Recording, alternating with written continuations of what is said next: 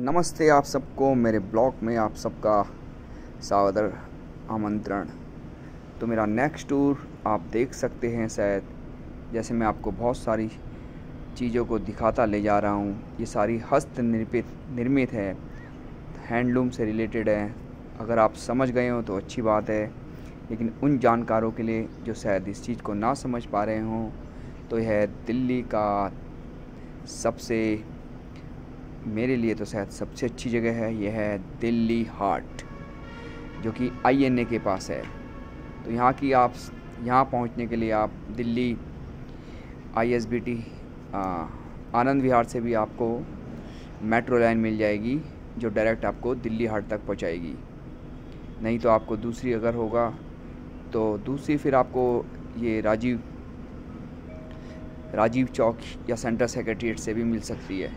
तो चलिए हम आगे बात शुरू करते हैं। तो जैसा कि आप देख रहे हो, यहाँ पर सारी चीज़ें हस्त निर्मित हैं।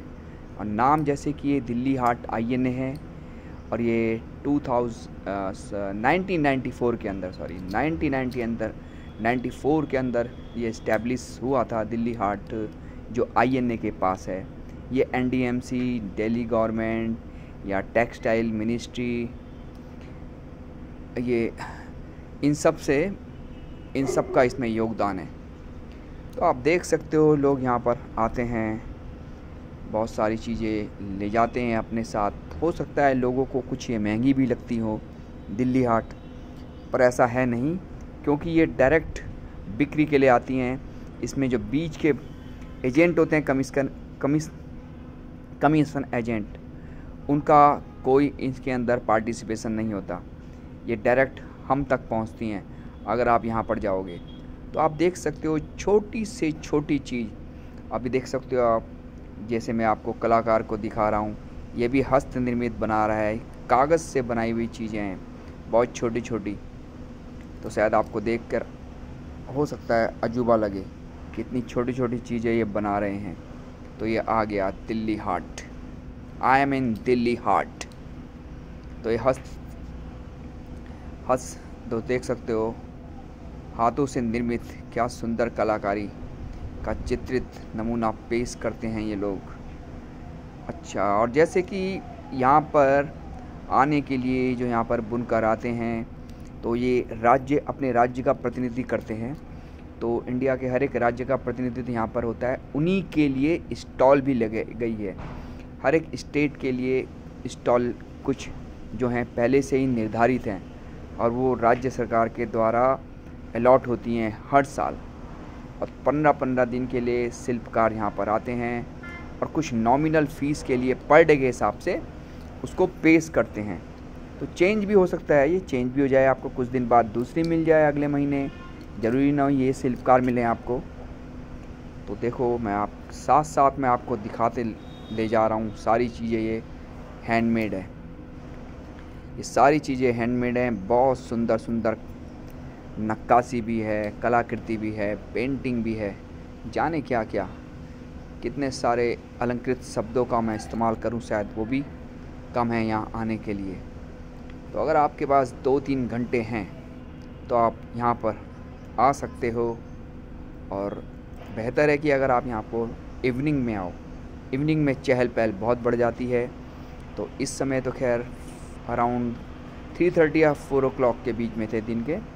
इसलिए मैं आपको सजेस्ट करूँगा कि आप इवनिंग में आना। तो इवनिंग में भी अगर आप सिक्स ओ आए, बहुत अच्छा है। आपको मौसम भी सुहावना मिलेगा यहाँ पर। क्योंकि ये, जैसे मैंने आपको बताया, दिल्ली हाट आई के पास है। और आई भी एक बहुत खूबसूरत जगह है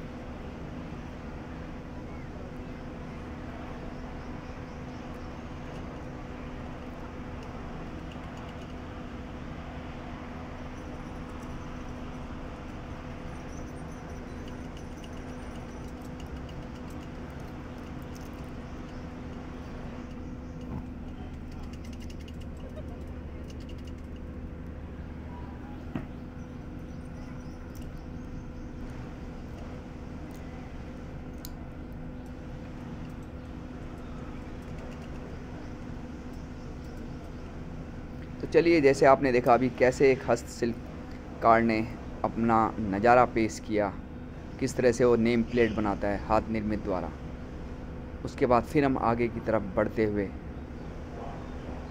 फिर हम आगे की तरफ़ बढ़ते हुए जा रहे हैं। फिर आगे हमें बहुत सारे, आगे भी बहुत सारे स्टॉल मिले। कुछ कपड़ों के भी मिले जो हस्त निर्मित हैं। इसी तरह हमें और भी कुछ मेटल से रिलेटेड। उसके बाद चलिए घूमने के बाद अब आपके पास लास्ट पॉइंट रहता है पेट पूजा। तो इस पेट पूजा का भी इस दिल्ली हाट के अंदर ख्याल रखा गया है। आपको यहाँ सारे स्टेट के, ज़्यादातर स्टेट के आपको फ़ूड कोर्ट के अंदर स्टॉल मिलेंगे। ये मणिपुर है, फिर आसाम है असमीज़ भी मिलेगी आपको। तो चलिए, जैसे कि मैं यहाँ आता चला गया, उसके बाद फिर मैंने यहाँ असम की जो चाय है, उसको भी टेस्ट किया। उसको टेस्ट करते तो क्योंकि वो मुझे थोड़ी स्पेशल लगी असमीज़ चाय। थोड़ी और जो हम चाय पीते हैं, उससे थोड़ा अलग लगा। उसके बाद जैसे आप रेट लिस्ट भी देख सकते हो यहाँ पर, थोपो, मोमो, बहुत सारी डिशेज़ हैं मोस्टली सारी नॉन वेज से रिलेटेड हैं। ये चाय देखो आप, मुझे काफ़ी टेस्टी लगी है उसके साथ बढ़ते बढ़ते आपको और भी, ये आपको जम्मू कश्मीर का स्टॉल भी मिलेगा। जम्मू कश्मीर के स्टॉल में भी मुझे नॉन वेज के आइटम ज़्यादा दिखे, जो कि मैं प्रेफर नहीं करता हूँ ज़्यादा। लेकिन जिसको प्रेफर करेगा, वो खा सकता है। ये उत्तराखंड का स्टॉल है और ज़्यादातर यहाँ पर जो कर्मचारी हैं, वो आपको कुमाऊँ और गढ़वाल के ज़्यादातर आपको कर्मचारी मिलेंगे। उसके बाद ये तमिलनाडु का स्टॉल है। तमिलनाडु से बढ़ते हुए उसके आगे महाराष्ट्र का स्टॉल है। और कहते हैं, सारे स्टॉल कम पड़ जाएँ अगर एक स्टॉल ना हो, जो सब पर भारी पड़ता है। तो समझ गए आप अब मैं किसकी बात कर रहा हूँ? मैं बात कर रहा हूँ पंजाब। पंजाब का ढाबा ना हो तो क्या बात है? सबसे बड़ा भी मुझे पंजाबी ढाबा दिखा यहाँ पर।